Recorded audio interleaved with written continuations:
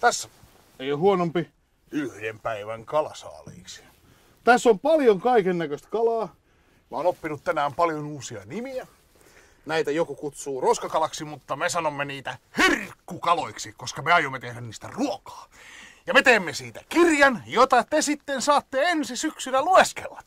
Tässä on esimerkiksi vimpa.